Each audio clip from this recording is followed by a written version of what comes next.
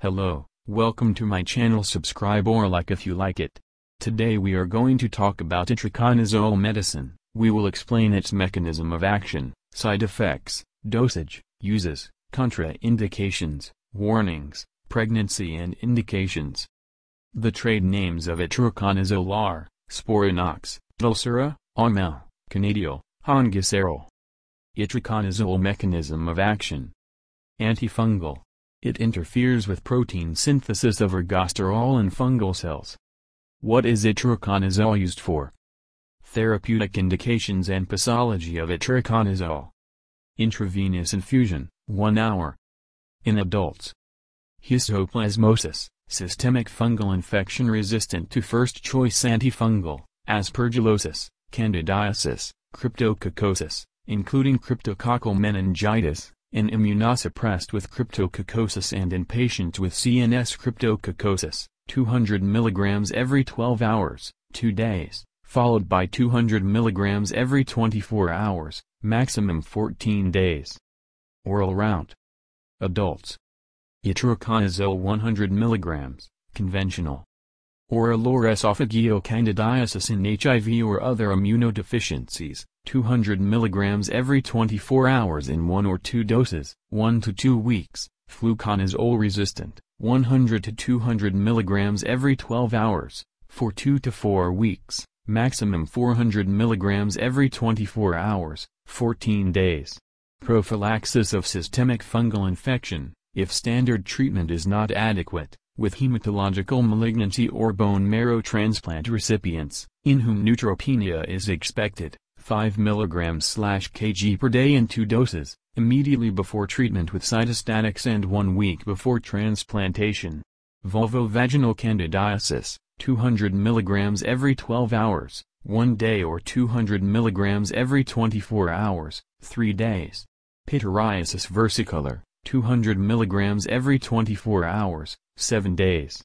Dermatophytosis, 200 mg every 24 hours, 7 days or 100 mg every 24 hours, 15 days. In highly keratinized areas, tinea pedis, tinea manus, 200 mg every 12 hours, 7 days or 100 mg every 24 hours, 30 days. Fungal keratitis, 200 mg every 24 hours, 21 days. Oral candidiasis, 100 mg every 24 hours, 15 days. Onychomycosis due to dermatophytes and candida, pulse treatment or continuous treatment. Pulsatile, 1 course equals 200 mg every 12 hours, 1 week plus 3 weeks without treatment. Feet or feet plus hands, 3 cycles. Hands, 2 cycles. Continuous, 200 mg every 24 hours, 3 months. Systemic aspergillosis, 200 mg every 24 hours, 2 to 5 months. Systemic candidiasis, 100 to 200 mg every 24 hours, 3 weeks to 7 months. Invasive or disseminated, 200 mg every 12 hours. Non-meningeal cryptococcosis, 200 mg every 24 hours, from 2 to 12 months. Cryptococcal meningitis, 200 mg every 12 hours, from 2 to 12 months. Histoplasmosis, 200 mg every 12 or 24 hours, 8 months. Sporotrichosis, 100 mg every 24 hours, 3 months. Paracoccidioidomycosis, 100 mg every 24 hours, 6 months. Chromomycosis, 100 to 200 mg every 24 hours, 6 months. Blastomycosis, 100 mg every 24 hours or 200 mg every 12 hours, 6 months. Itraconazole 50 mg, pityriasis versicolor, 100 mg every 24 hours, 7 days. Dermatomycosis, tinea corporis, tinea cruris, 50 mg every 24 hours, 2 weeks. Ringworm of the hand, ringworm of the foot, 50 mg every 24 hours, 4 weeks, nail ringworm, 100 mg every 24 hours, 12 weeks.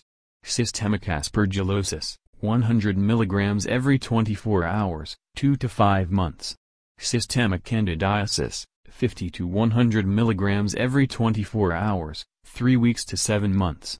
Invasive or disseminated, 100 mg every 12 hours.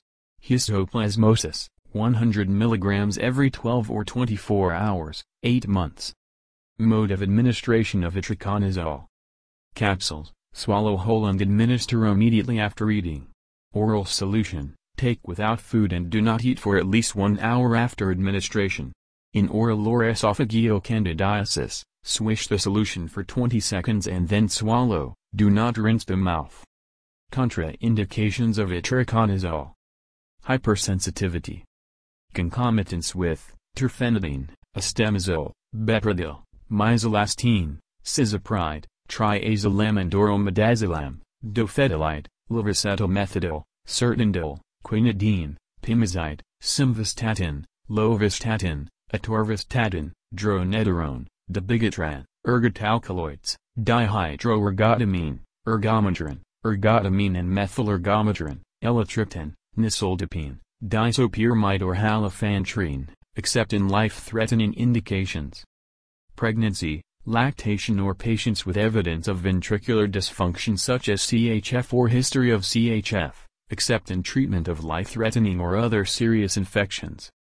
Warnings and precautions of itraconazole. Hypersensitivity to azoles, elderly, children. Renal insufficiency. Hepatic insufficiency, monitor. Assess risk-benefit in CHF or history of CHF, monitor and discontinue treatment if signs or symptoms of CHF appear. Risk of hepatotoxicity, monitor, discontinue treatment and perform HFP if hepatitis appears, instruct the patient of the signs. Discontinue treatment if neuropathy develops. Transient or permanent hearing loss reported. Transient asymptomatic decrease in left ventricular ejection fraction observed. Concomitants with CA channel blockers due to increased risk of CHF, CYP3A4 inducers, rifampicin, rifabutin, phenobarbital, phenytoin, carbamazepine, hypericum, isoniazid, Due to risk of reducing bioavailability, do not use until two weeks after discontinuation of treatment with inducer. It is recommended to take conventional or itraconazole with cola in case of achlorhydria or gastric secretion suppressor treatment, H2 antagonists or proton pump inhibitors for example. Before initiating treatment of systemic candidiasis, Check sensitivity to itraconazole in case of suspicion of candida strains resistant to fluconazole. Not recommended orally as initial treatment of life-threatening systemic mycosis. Caution in, immunosuppressed or AIDS patients. Hepatic insufficiency and itraconazole. Caution, limited data. Risk of hepatotoxicity, monitor and discontinue treatment and perform HFP if hepatitis occurs, instruct patient of signs renal insufficiency and itraconazole. Caution, limited data. Evaluate for risk of heart failure. Itraconazole interactions. Bioavailability increased by ritonavir, indinavir, clarithromycin, erythromycin.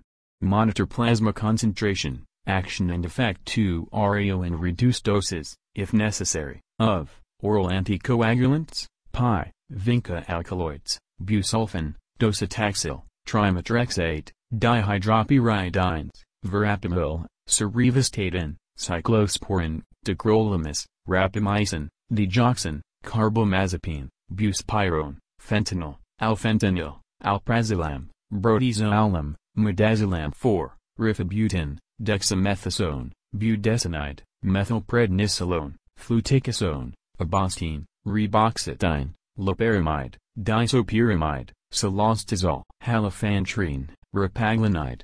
Decreased absorption by drugs that reduce acidity, spacing 2 hours of conventional itraconazole. Pregnancy and itraconazole. Itraconazole should not be used during pregnancy except in life-threatening cases where the potential benefit to the mother outweighs the potential risk to the fetus. Due to the metabolism of the drug, pregnancy should be avoided until the next menstrual period after completion of treatment. In animal studies, itraconazole has demonstrated toxicity affecting reproduction. Itraconazole has been observed to cause a dose-dependent increase in maternal toxicity, embryotoxicity and teratogenicity in rats and mice at high doses. Teratogenicity in rats consisted mainly of skeletal defects. In mice, it consisted of encephalocele and macroglossia. There is limited information on the use of itraconazole during pregnancy. During post-marketing experience, cases of congenital anomalies have been reported. These cases included skeletal, urinary tract, cardiovascular and ophthalmologic malformations, as well as chromosomal and multiple malformations. A causal relationship with itraconazole has not been established. Epidemiological data on itraconazole exposure during the first trimester of pregnancy, primarily in patients receiving short-term treatment for vulvovaginal candidiasis, did not show an increased risk of malformations compared to control subjects not exposed to any known teratogen. Women of childbearing age using itraconazole should use effective contraception. Effective contraception should be continued until the menstrual period after the end of itraconazole treatment. Lactation and itraconazole A small amount of itraconazole is excreted in breast milk. Before using itraconazole the potential benefits of itraconazole treatment should be weighed against the potential risks, if breastfeeding. In case of doubt, the patient should not breastfeed. Effects on driving ability of itraconazole no studies have been performed on the effects of itraconazole on the ability to drive and operate machinery. The possibility of adverse reactions such as dizziness, visual disturbances and hearing loss should be considered. Side effects and adverse reactions of itraconazole. Abdominal pain, nausea, rash. Also intravenous, hypokalemia, headache, dizziness, dyspnea, vomiting, diarrhea, constipation, hepatitis, jaundice, hyperbilirubinemia, increased liver enzymes, pruritus, edema, pyrexia,